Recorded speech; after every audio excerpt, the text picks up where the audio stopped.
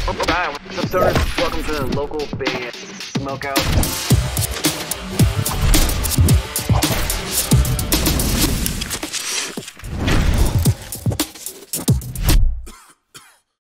Greg Long in the building from We Are Triumphant. Yeah, hell yeah! entrance music, dude. Hell yeah. How have you been, dude? Can we pull up the uh, entrance music for Stone Cold, please? Uh, that I don't have. I got a lot of buttons, but I don't have that one. But, uh, sir, how have you been? For uh, for those that may not know who you are, can you please properly introduce yourself? Let us know whereabouts the world you are at the moment, and plug anything you'd like. I'm in Los Angeles, uh, the Valley, to be more specific. Um, my is Greg Long. I'm the record label owner of We Are Triumphant, uh, Grotesque, Life or Death, among other things. And um, I'm here to smoke some weed and, and talk about music. Let's go. Smoke weed every day. How do you balance all all the different labels and projects, man? How do you do that? Uh, I mean, to be honest, like I've been in front of a computer for like 12 hours a day since I was like in third grade. So it's not. I used to be like super obsessed with video games to where I'd play them like like for a lot, like competitively, even as a as a kid. And then one day I was like, I should probably put my time into something that's gonna like. And this is before like esports were like huge and everything, and like people were making tons of money and streamers were huge and everything.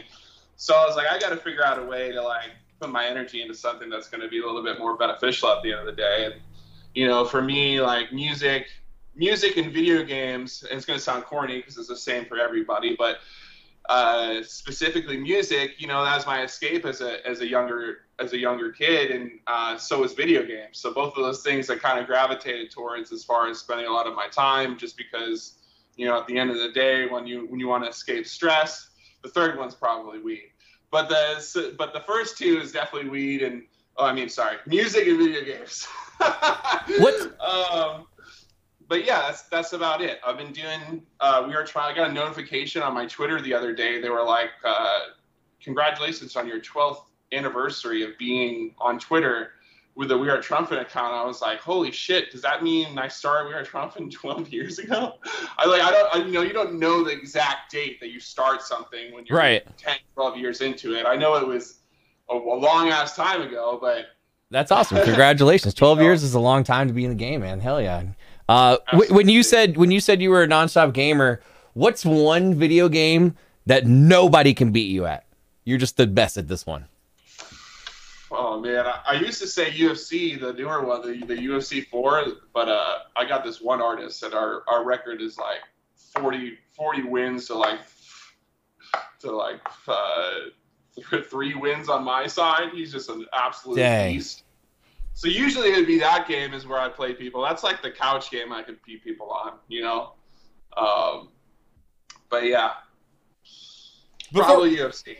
before we before we play uh, some of the Aust- Familiar with the genres? They're like, is that a, is that a guy or a girl I, singing? I think And I think that- high pitched singers low key love that. By the way, dude i think they do They're like, too "Yes." but it also it, it gives them this like extra thing about them that like is a little bit questionable when i first worked with traders back in the day dude sounds like a moose dude sounds like he sounds like in his- you know what i mean like he he has insane vocals that i haven't really heard like that from before in like the heavy community so it's like you know, any way to stand out vocally, which is obviously hard. Some people do it by just having a super high range. Some people do it by having an incredibly low range. Um, the tone of their voice, you know what I mean? Just like uh, it's it's kind of what I look out for. It's you know, my job at the end of the day is showing people showing people artists, and if I'm going to show a hundred thousand kids an artist, you know, I want the highest amount of people to stick around or question what they're listening to, or at least like show some interest.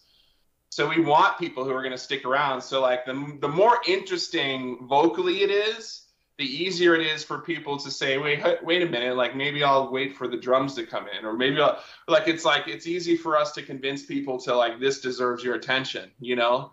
If you just have a good voice, but you're not like you know, like the, I got you're you. gonna you're gonna be in a good band. You know what I mean? It's that's like how it is, you know. So and that's what and and when you're don't have millions of dollars behind you and it's not the major labels like you have to depend so much on your craft so much on your vocals so much on the songwriting to like really cut through.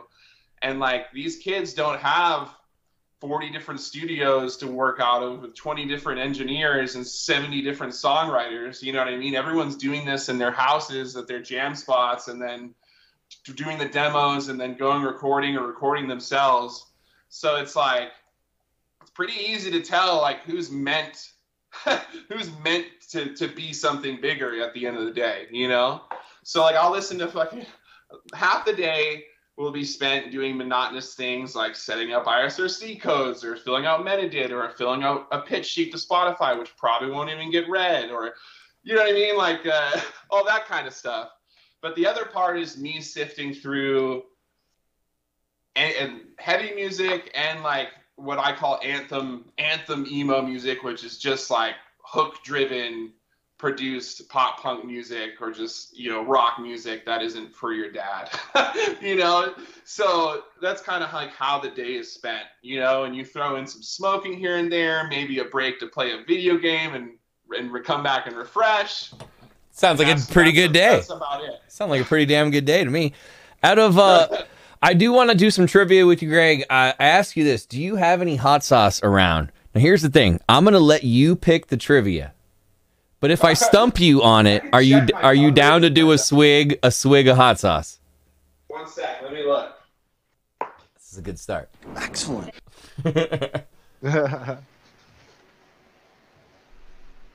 While he's grabbing that, you guys gotta let me play Coletta. Coletta is on his roster also. This is so good. He still shoot it. His price just went. Tell me, tell me what you think about this. i dude They're probably my second Uh, favorite that you got on, on Triumphant for real. I Dude, love One, Coletta. my friend told, told me to check them out, um, and they had 300 monthly listeners when I found them. But that's what I mean. Like, I didn't give a I didn't give a shit. You know what I mean? you know that they could have had 10 monthly listeners at that point because you They're just know, different. yeah, They're it's like- different. yeah, yeah. It's like yeah, they've got 300 monthly listeners. That's kind of like okay, so that's gonna suck. Like growing up, you know, getting up to like 100k or 10k, 20k, all that's gonna suck. But you know, like I said, my job at the end of the day. By the way, I couldn't find any hot sauce. More on that at 11. Uh, um, but yeah, they were they were just super. They were just fucking super good. They they stood out to me super heavily. It was like it was. You know, I'm a I'm a obvious. I'm a fan of Dance Gavin Dance. Coletta has a little bit of that vibe in there, especially their older stuff. But their newer stuff, especially the thing you just played, has almost like zero screams in it, and it almost feels like like a it's like it's like it's like if Dance Gavin Dance was mixed with like Tame Impala or something, or or like something super like gro- It's like it also I get like very like psychedelic vibes listening to them. I don't get that with any of these like prog hardcore bands. You know what I mean? So it's like immediately, and also his voice is fucking super high. It's also also sounds ridiculous, you know. So I do want to play Monty also, but before we do, I do want to do the trivia. What movie or TV show have you seen more than anything? Where if I ask you about this movie or TV show, you will not get stumped. You don't. obvi- You couldn't find the hot sauce. No big deal. You have to hit the blunt for 20 seconds straight without exhaling. Is your is your that, that works for me. cool? I'll, I'll give you a second to think about it. Your favorite, your not your favorite, but the the movie or TV show you've seen the most, or if I ask you trivia about it, you will not get stumped. I'm gonna play Monty. I remember you telling me about a bunch uh, back in the day. Do you think of, do you think of a movie or TV show? Yeah, a couple. I could probably do anything on like original uh, Star Wars or Lord of the Rings. If it was Star Wars, what episode? Oh, that's what I mean. Like uh, the original three, not not like not the ones that came out like in the 2000s. Like Right, right. The All- the seventies the- ones. The seventies ones. Yeah. Okay. But is there one in particular that you've seen more, or just I can pick? you're about to ask me trivia on it. Um, fuck. I'm gonna do terrible on on either one. Just because I've seen it a lot doesn't mean I know all the factoids. But I anyone you pick, probably Empire Strikes Back. Okay. I've also seen Hannibal a lot. I've seen a lot of a lot of random random movies. I'll I'll see if I can find something. JB, do you have another question for Greg? So, uh, with your label, is it more exclusive to you finding the talent that you are going for, or do you have a, a way for people to submit? Yeah, I mean, I've always had submissions, and like my email's always been open. And I've, you know, there's been, but I'll tell you, there's only been a few times that I've ever signed anyone off a submission, and and like part of that is because a lot of the submissions aren't the best, aren't like the best, you know. Yeah, I get Um, that. and on top of that it's an ego thing like when i find something personally when i find something and it's like amazing and no one knows about it yet i feel like i can put my flag in it and it feels i feel so much more a part of it as opposed to if someone was like hey check this out i think it's really good for you you know what i mean i like it's like like 100%. imagine going to the doctors or like being told like hey this is good for you. You should do this. Instead, instead you do that on your own, and you find that conclusion. And you're like, fuck yeah. So, so it's kind of like, uh, you know what I mean. So that's why I also That tell people it's, you know, if I if you show me something and it's an eight eight out of ten, and I find it myself, I'm gonna be like, this is fucking, this is the best shit out here. It's a nine out of ten. What do you mean? Yeah. you know so it's just, it's like that personal personal feeling for it so like yeah i'll go through submissions um but more often than not it's like you know not up to par you Makes know sense. which is expected and so you know we're not always sifting through the submissions as much as we should be i'll tell you i do every now and then we'll ask people i'll make a status or something be like what is everyone listening to um what should I be listening to? You know what I mean? And I, I would get a few hundred comments and sift through that, and I would find some cool stuff in there. Usually, when I ask the general public, there's like way better, way better uh, suggestions than if I'm just to check my inbox. You know what I mean? Because I literally have like I have like rappers from like India hit, up my You get everything. You get everything. stuff, like I just I can't connect with it at, at all, or you know what I mean, or it's like I can't get over the accent with the rapping. I, it- it's like it's and it's nothing against them in India, but it's like that's just it's just such a wide we get such a wide net of submissions, you know. Mhm. So it's like we can't work with every artist that sends in, but like we definitely are open to listening stuff. I would tell people the best thing you can do is be annoying because you know I get a thousand messages a day. Not my weekend to be one of those artists. Not to say Patrick was annoying, but he called my phone number. He called like one someone that I had lived with. He called. He emailed me on my work email. He emailed me on my old email that I don't check anymore. He, you know what I mean? Like I've heard those songs. You, you know, so like if you were you know if you want to get signed to a label say like you want to get signed to rise or sumerian or any of these labels out here just fucking hit them up until you hear no you know because that's the only way you're gonna really know if you hit It's really good and you hear advice. nothing he they you know what i mean dude could have been hung over that morning dude could have taken a shit twice as long than he normally does and missed your email you know what i mean it's like Yeah. you don't want to be like, oh, I reached out to every email and no one got back to me. Well, you, you know what I mean? It's like the same thing as walking out in your backyard and asking for a record deal eh, eh, to the sky. you know, if you're not going to hear anything back, you know, then like, what, you got to try, you got to be a little bit more persistent. And if you have what it takes, like not even what it takes, but if you have something a label's going to be interested in, they're going to know pretty quickly you know what I mean? If they Mhm. take listen to your stuff or they, you know what I mean? Take 30 seconds to listen to it. You know, it only takes 30, 20, 30 seconds for someone to be like, oh, oh, this actually sounds pretty. Oh, okay. All right. Oh, they've got this many. Oh, okay. All right. And then, you know what I mean? I think the problem is in like our scene is that there really isn't a lot of labels uh, that are really developing artists. It's more so they're signing artists when they're already, you know, when they've you, you, like. I don't think any label out here would ever touch Coletta at 300 monthly listeners, regardless of how cool they sounded. I just don't think anyone would do it. I don't think, and that's like that's kind of where I've seen all my success from. Like Neck Deep, they had zero monthly listeners when I found them. They, they didn't even have a they didn't have a full band. You know, they, there wasn't even a real drummer. It was their his brother programming the drums, and they had a guitarist, and that was about it. And like, you know, sometimes you got to take it's a it's a risk reward thing. You know, and that's kind of where I've been able to be so successful is because I'm not really com- like competing with all these other labels trying to sign this act that already has millions of streams, hundreds of thousands of listeners, sales history, all this stuff where they're getting this big advance, all that complicated shit. I'm signing people who, you know, these other labels, you know, don't would just wouldn't even approach them, you know, not because like they're just in a different league altogether, you know what I mean? Um, but there's a lot of that. But being there first is what allows me to sign these artists that are able to get really big because I find them. They're you know I know that they're amazing. We can throw gasoline on whatever they've got started already, and just like see where it goes. You know.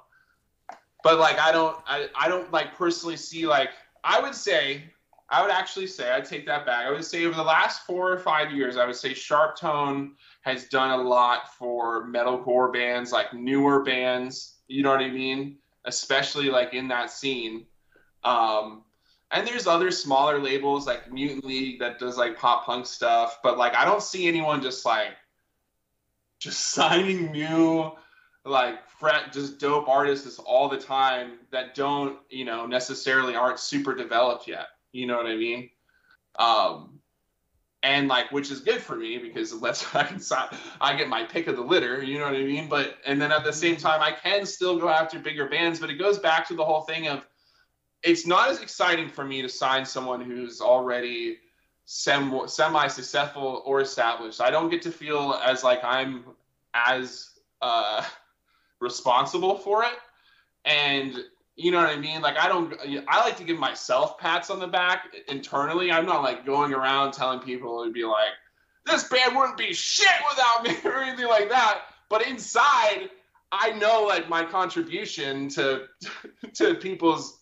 career and I'm able to like, you know, I'm not a vocalist of a band, but I know I've like at least had some sort of impact on my favorite genres directly around me just like working in them. And for me, that's kind of like where I get fulfillment uh, from doing this. You know what I mean? It just it comes back to a selfish, personal thing. Like it's like I like being the person who get, turns people on to dope shit, and I like being there first. And I like to say I did their first EP, their first album. You know what I mean? I that's like and what I always tell people is it's like, dude, what are your favorite records from the artists that you love? Because for me it's always the first ep and the first two albums that come after that you know? Usually yeah. So like from a i'm not like uh you know i don't have like 20 person staff or anything like that. I have a few like assistants and like i get help and obviously like graphics and stuff like that. But like for the main the main chorus is all cooked it's all cooked by me. So it's like i've got to love what i'm doing. I've got to love the artist that i get behind. Uh and it's just yeah i mean I will sign a bigger artist. I've signed bigger artists, you know, and I'm not, and the bigger artists who are listening to this are like, Greg, you don't love.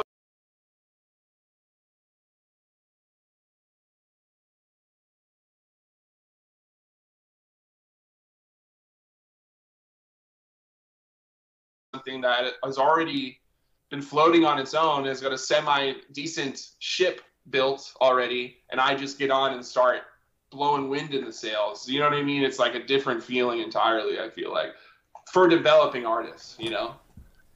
That could be the most elaborate answer I've, we've ever gotten from uh, from any question we've ever asked anyone. I'm just After being... I finished, I was like, "Fuck!" I just ranted for ten minutes. That was like a five minute response, but you answered and were so honest. So uh, you covered so many things in, in one long question. That's awesome. But this could be the most important question we've asked all day. In The Empire Strikes Back, C3PO is always telling people this when he first meets them. How many language is he fluent in? The number, dude. Turn it off. I'm not gonna know the number of times he asks. I don't even know what he asks all the people. He always tells people, "I'm fluent in this many languages," and he says a number. Let's ask. Let's ask Google. C3PO says. I think we got him. I think we got him. I think you got, I, I think you roasted me on that one. Tell me about Anson. Who's Anson? Anson.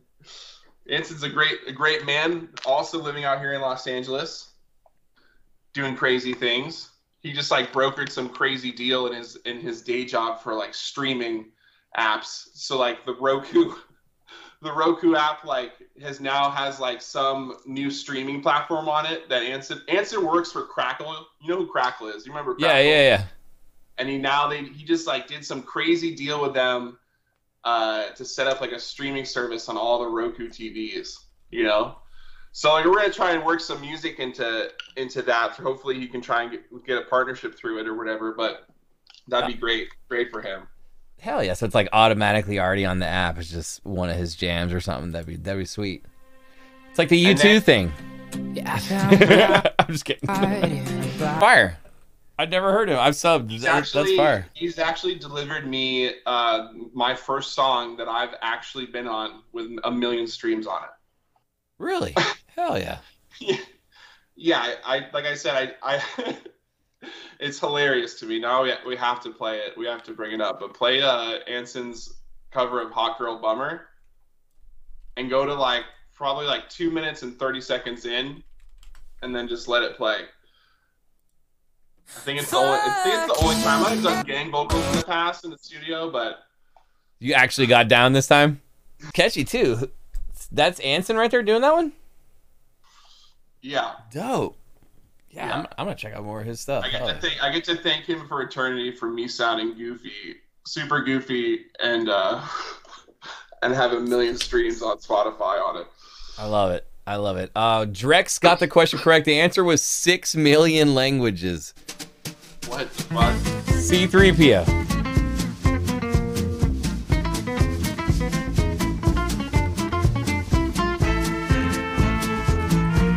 Oh, it landed on painful tattoo. So, sir, I can tell you personally, I think my most painful tattoo is like in my like chest plate area where there's no meat right there. That area was You the like dead center? dead center where there's like you- you're just tapping on bone right there. That to me was like Yeah, the that- most painful. That's, uh, that's my answer too for for the, the most painful spot. Really? My, and I, my I don't know about yours. My situation was the worst though. The guy, first of all, it was a friend. And he was like an apprentice, and he just started doing it. He just and like it, it came out amazing. But the he does the outline and he steps back and he's like, "Okay, I'm just gonna have to go over this outline like one more time." And I was like, "Are you fucking kidding me?" Yeah, it was. It's terrible. it was like the outline is like one of the worst parts, you know. But yeah, dead sternum super is disgusting. I I the head's not bad. I this dead sternum is definitely way more painful than the head, the throat, and then I I'm afraid to do my stomach, dude. That sounds like fucking a nightmare. I don't. Yeah, I don't have know my stomach done either. I've got like, well, I've got about I've, ribs. oh ribs. I have one side of my ribs, and I have like two pieces about this size, like What un, under my your- belly about button. I do not have my caps done, but I'm working on my leg right now. On my legs done, but my knees, and that's what I, I'm definitely I have to do it to because it's the only thing missing. You know, Yeah. it's from the legs, and that's like that's the next. You know, I would say for anyone, top three most painful spots to get tattooed: kneecaps, dead sternum on your chest, and rib cage, Yes. and stomach, and your stomach. So your rib cage was really bad for me also. Um, JB, let's do final questions. What What is your final question, sir, for Greg, and then we'll let him go. He's been an excellent guest. Um, what is? Let's see. What is your favorite strain of weed? uh, there's this one called Durban Poison that I Oh, have, yeah. I've had recently, and uh, that one's pretty good. And then also I sent you a. Uh, I don't know if you want to play it if we have time, but I sent you a link to Misfortune's record that they're working on, and I want you to play Black Pixie because I want to see your. I want to watch you guys' faces as as you listen to this song. Okay, one second. I gotta switch profiles. Black Pixie. It's Oh, yeah, I see it. It's not even. I don't even think it's like mixed yet. But dude, this song, if this song doesn't hit, I don't know what song is gonna hit. You I got what it. I mean? I got it. Here we go. How much? Of, how how much am I allowed to play of it? Oh, it's only a 32 Oh. second sni- snippet. Okay. No, play uh play go go down. It should be the whole shebang. Yeah, go to uh, Black Pixie and play that. You play the whole thing. I can play the whole thing. Yeah. Yeah, it's superb. It's superb. I think we have time for one final question. Uh, so this has been a blast, though, man. I appreciate you doing this and uh, totally getting stoned with us and everything. But uh, what is what is one mistake? We've kind of gotten over the advice stuff earlier when I usually ask about that. But uh, my final question is: What is one mistake you always see starting up bands do that you're just tired of, and you, you just want to tell them, "Hey, don't do this when you're first People starting are gonna fucking people are gonna hate my answer. You ready? This is saucy. You ready? Stop practicing once a week to play fucking three shows a year in the same state that you're in. Instead of doing that, instead of practicing your songs once a week in a garage somewhere or at your friend's house, make content online. Focus on this, like getting songs produced and releasing content consistently. But the biggest mistake I see is that people will be doing rehearsals once a week or practicing once a week the same five songs, getting drunk, doing whatever, having fun, and just like, you know, just so that they can play three or four shows that they've got lined up that year. You know, that's like meeting up. That's like what there's like 50 something Fridays in a year. Those 50 times you guys could meet up, even talking about you know your next merch drop or you know how you're going to get this next song to do well or reaching out to people. I would say for bands, you will go way farther. Just every time, instead of meeting up for practice, if you you can still meet up for practice, but for the first 10 minutes, just send 10 emails or 10 DMs. Don't even doesn't even you don't even need to know what those DMs or emails are, but you need to be reaching out to things constantly. And there's no end to how many people you could be reaching out to, whether that's trying to get a sponsorship, trying to get on a show, trying to get a collab, trying to get on a YouTube channel. You know what I mean? Playing your part super tight for 40 kids doesn't fucking matter. In the beginning, that's just my opinion, you know? That's like the evil record label guy opinion. Because everyone just wants to like play shows once a month, meet up once a week at their friend's house, hang out, practice the songs that they wrote with their friends, talk about girls, talk about boys, and that's what and that's like all they do. You know, I would say you're just wasting a, a lot of time. You know what I mean? Yeah, the worst somebody could say is no. The worst somebody could say is no if you just bother them, like you said earlier. Just bother the label, bother bother the sponsors. The worst they can I, say is I no. I personally try and do the 10 email thing a day myself. I don't know who I'm going to email, what I'm going to email, but one of my artists needs something, needs this, needs that. There's not, you know, everyone is always in constant need of of something, you know. So it's like practicing once a week isn't going to help, isn't going to fulfill those needs, you know. Mhm. It's and it's like touring is a lot different. It's not the 70s and 80s anymore with the internet. The internet is the biggest stage in the world, you know. So it's not like in the in the 80s and, and like 90s and even 70s bands could tour and get really big off of touring you know there's been very few bands that have gotten like really big just solely off of touring you know in the last few years you know i would say like one of the biggest bands from from touring is probably knocked loose like those dudes are playing eh, like everywhere and all the all the cool hardcore shows and all the vfw halls and all the like across the whole United States. you know what I mean? For years, and then like you know they're playing like Palladiums and stuff now, which is cool. But yeah, for the most part, I would say just you know got to reach out to more people. You can't just expect. It's like goes back to the thing like you can't go outside and scream at the sky for a record deal. Uh, you can't just email someone and then not hear back and think you know that's it. it's you've got to keep it emailing people. Like you've got to hear a hundred no's before you hear one yes, and that's like how it is with everything.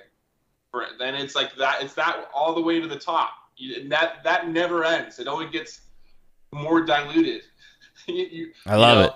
I love it, dude. I, I appreciate the advice, man. The, the the knowledge, everything. This was a lot of fun today. We're we're out of time, but uh, this was this was an absolute blast. Thanks for hanging out with us today, Greg. We appreciate yeah, it, Absolutely.